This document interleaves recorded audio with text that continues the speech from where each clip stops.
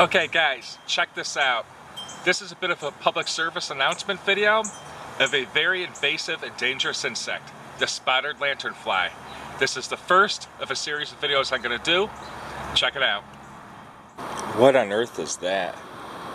Whatever it is, I should know what this is. It just, it's not ringing any bell. But that, that coloration, how come I haven't seen this before? I get kind of a bad feeling about it.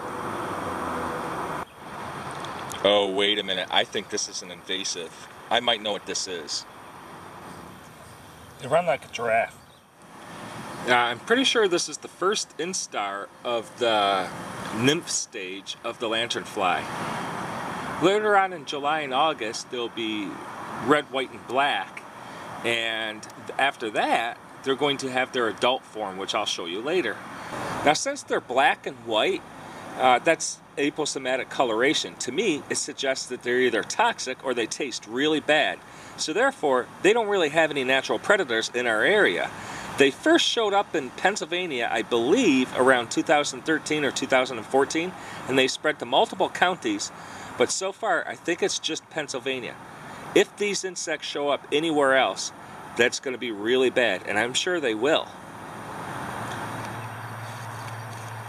Now, as I said, they really like the agricultural crops. They love to feed on grapes and hops. I don't know how that's going to affect our beer industry and all sorts of other crops. They also like the timber affecting different trees, which can greatly compromise our timber industry and different types of wood.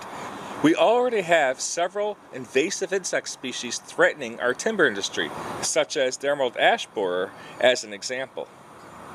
If you happen to see the lanternfly in any of its life stages, definitely report it to badbug.pa.gov or any other agricultural or park website. They'll know what to do from there.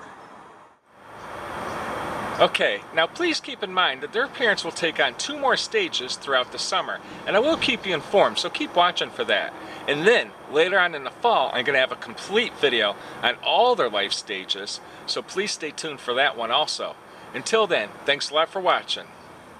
If you like this video, be sure to check out this video over here that YouTube has selected specifically for you based on your watch time. And don't forget to hit that subscribe button, but you gotta click the bell icon because if you don't, YouTube will never let you know when a new video of mine comes out. And remember, passion inspires spirit. Chris Egnoto, signing out.